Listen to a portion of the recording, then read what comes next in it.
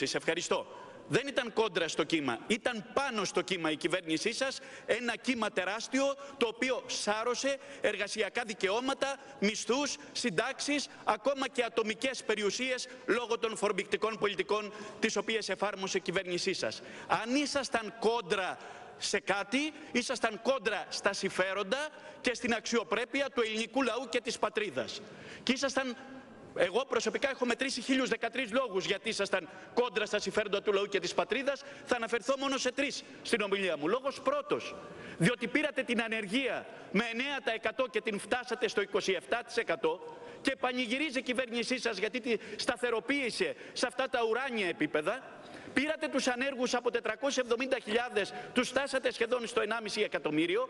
Έχετε τη χώρα μας επί 15 μήνες σταθερά πρώτη σε ποσοστά ανεργίας και ιδιαίτερα σε ποσοστά ανεργίας των νέων στην Ευρώπη, με αποτέλεσμα ειδικά η νεολαία να οδηγείται είτε στην ξενιτιά είτε σε κοινωνική γενοκτονία.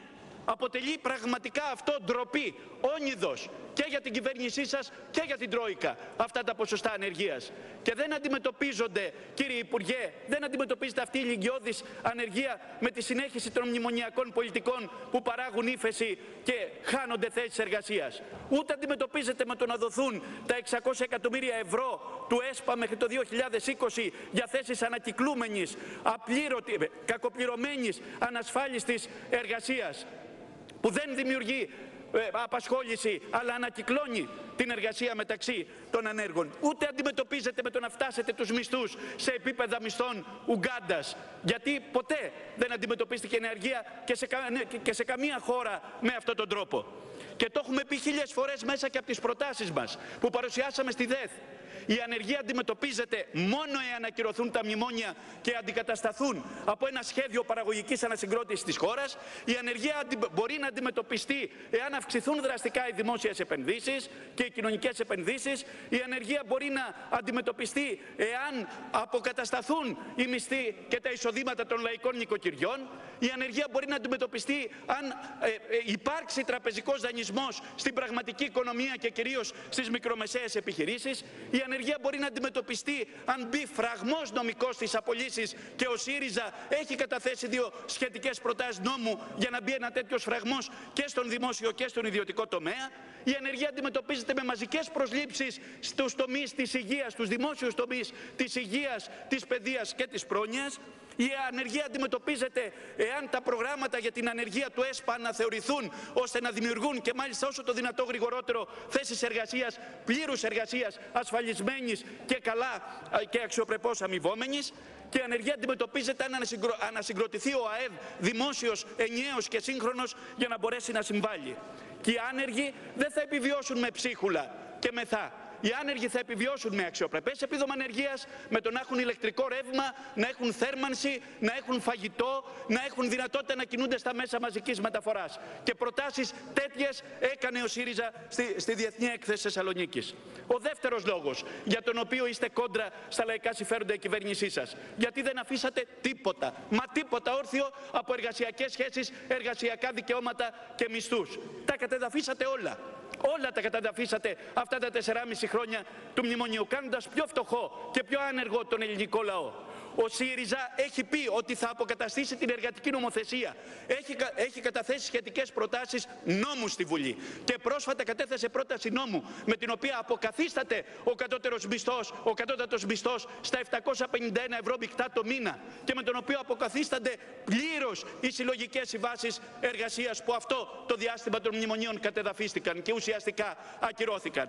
Και ξέρετε καλά, κύριε Υπουργέ, γιατί είπατε ότι δεν κάναμε μελέτη, ότι έτσι και μπαίνει φρένο στους μισθούς και δίνεται η δυνατότητα μέσα από συλλογικές συμβάσεις εργασίας στο εργατικό συνδικαλιστικό κίνημα να πάρει πίσω, να πάρουν πίσω οι εργαζόμενοι ό,τι έχασαν τα χρόνια του μνημονίου και βεβαίως δίνεται, δίνεται δυνατότητα να αυξηθούν τα εισοδήματα των λαϊκών νοικοκυριών, να υπάρξει αυξημένη ενεργή ζήτηση και έτσι να αντιμετωπιστεί και η ανεργία. Και τέλος κύριε Υπουργέ, ο τρίτος λόγος είναι, Υπουργέ Εργασίας, ο τρίτος λόγος είναι ότι δεν αφήσατε τίποτα όρθιο, καταστρέψατε τις συντάξεις και το ασφαλιστικό σύστημα. Είχαν μειώσει οι συνταξιούχοι αυτά τα τέσσερα χρόνια από 14 μέχρι 50%.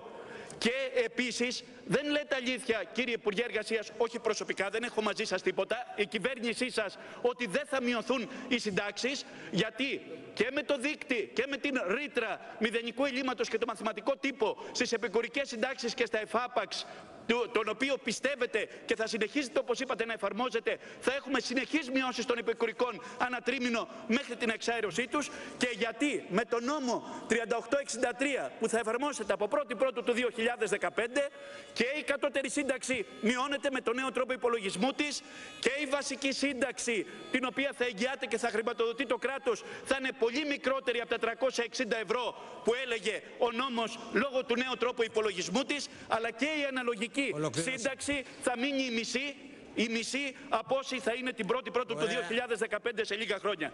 Τέλειωσα κύριε Πρόεδρε. Λέτε, ένα, ε, σας ζητάω 30 δευτερόλεπτα. Λέτε, λέτε ότι δεν έχουμε προτάσεις για την κοινωνική ασφάλιση. Δεν κατάλαβα. Η αποκατάσταση 13η σύνταξης δεν είναι πρόταση. Δεν κατάλαβα. Η αποκατάσταση σταδιακά και με βάση τους ρυθμούς ανάπτυξης της οικονομίας των υπόλοιπων συντάξεων δεν είναι πρόταση. Η χρηματοδότηση του ασφαλιστικού με νέους πόρους του δημοσίου που θα υποκαταστήσουν τα λαιλατημένα και κλεμμένα αποθεματικά δεν είναι πρόταση πρόταση. Ολοκλήρωσα. Για σας προτάσεις είναι μόνο όσες ζητούν μειώσεις συντάξεων. Για σας προτάσεις είναι μόνο όσες κάνει η Τρόικα. Αλλά πέρα από όλα αυτά, ένα είναι σίγουρο. Εμείς πρόταση εμπιστοσύνης δεν δίνουμε, πρόταση δυσπιστίας κάνουμε και ο λαός με την ψήφο του και τους αγώνες του θα κάνει πολύ. πραγματικότητα την ανατροπή της κυβέρνηση. κυρία Ουζουνίδου.